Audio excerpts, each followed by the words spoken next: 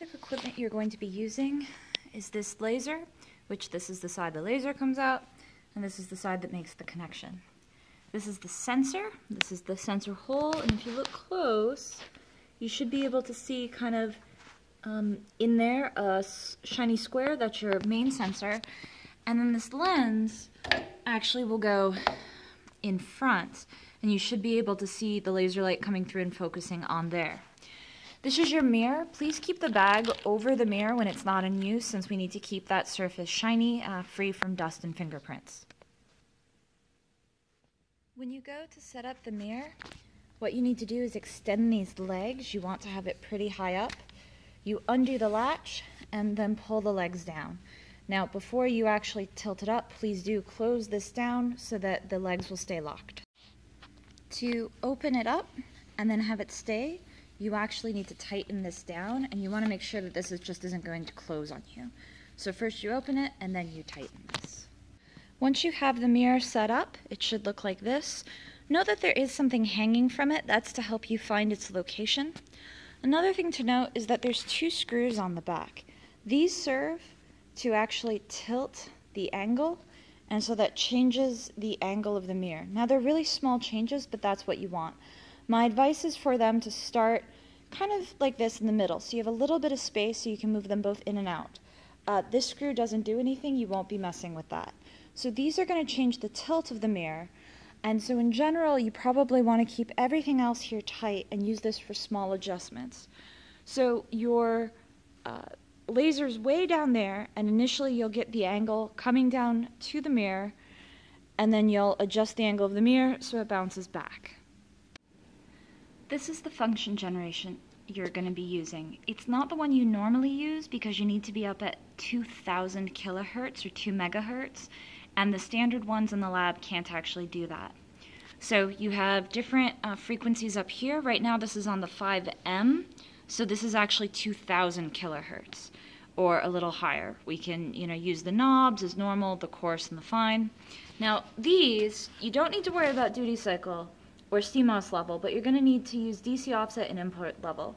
In order to use the DC offset, you need to have this button pushed in. You don't want to have that button pushed in. Now on the bottom, we have output. Now right now, the output is going to the back of the laser. It's also going to my function generator, uh, sorry, my oscilloscope. Now, right now, I'm looking at a sine wave, and I've centered my vertical line um, right here, my triggers there. So you can see that my sine wave is actually going from ground up to 10 volts, 5 volts right there, so it's centered around 5, and that's what you want. Now the problem is the laser isn't going to work if you have this input sent as well. So before you use the laser, you need to unplug the scope and actually put it in the TTL CMOS. I haven't adjusted any of the settings, but I have now moved this cable so when I come back over here, I see this kind of square wave looking thing. That's okay, that's what you're gonna see on your scope. But the other end of the laser is still on that output. So we turn on the laser, so there's a switcher on the back, and you don't wanna actually, you know, stare into it. So you use a white piece of paper and you see a dot. So my laser is on. Now that dot's actually oscillating, but you can't tell because it's oscillating 2,000 uh, sorry, 2 million times a second. Now, that mirror is really, really far away, and this initial alignment is going to be hard. So I recommend that you actually start with the mirror fairly close to the laser. You have to start by getting your alignment right. The best way to do that is with your laser on, use a piece of paper to find where the beam is going. And right now, the beam is going right now the beam is going too low. So we need to drop the mirror height down so that it lines up with this. Now, I really recommend to not uh, have someone back there unless you're blocking the beam. So you could have one person blocking the beam with a piece of paper and the other person behind, or turn off the laser. One or the other, don't have someone working right in the beam. So my laser's on, and when I track the red dot now, I see that it actually comes really right onto the mirror. What I've done is I've actually taken one of the legs completely in so that only one extension's open, and then I've used this riser uh, to lift it up vertically. So now what's happening is it was going to be hitting the mirror and actually bouncing back. So what you now want to do is try to find where it's bouncing. Now what I can see is it's actually bouncing to right here. And what we need to actually have it do is bounce through that lens and back onto the sensor.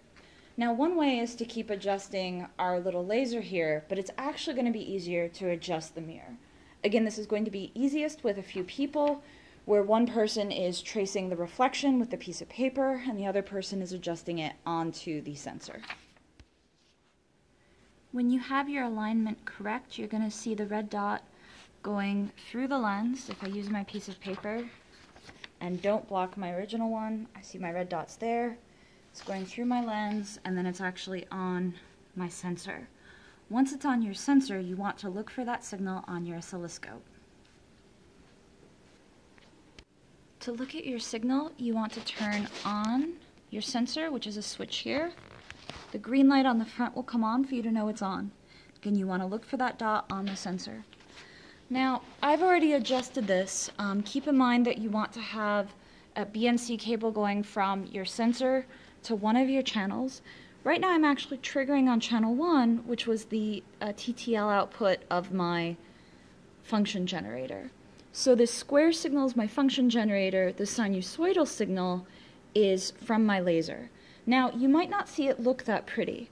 Interestingly, if I turn up my laser signal, it's actually going to become really flat, so that's not very good.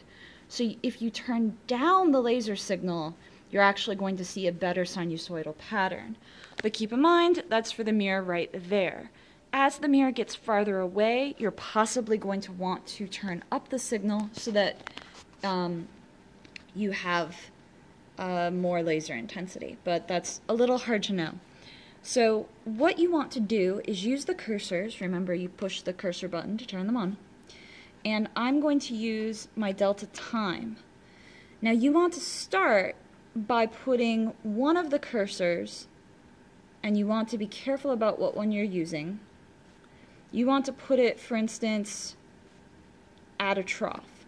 Now, one option is to keep one of your cursors at a fixed location, like this edge here, where I have that solid one, and keep it at this edge of my square wave.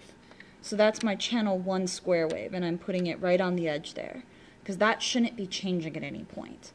And then what I'm doing is looking at this dash line more or less right on the next trough. And the reason I'm not using this peak is that it's going to be moving and I want to make sure that I can get that motion okay. Then I come up and look at this delta time, which right now says 269 nanoseconds. So keep in mind this is really fast. Right now we're on a 100 nanosecond scale. So I see where my trough is. The idea is that I then move my mirror, which means that it takes longer for that laser pulse to get back. And then I would actually see a shift in my trough. What I would do is write down my new time, which would maybe look like uh, 275 nanoseconds, maybe. Now keep in mind that it's going to be hard to figure out exactly where that trough is, so you want to think about making an uncertainty estimate. For instance, having different members of uh, your group come and actually try to see where that bottom of the peak is.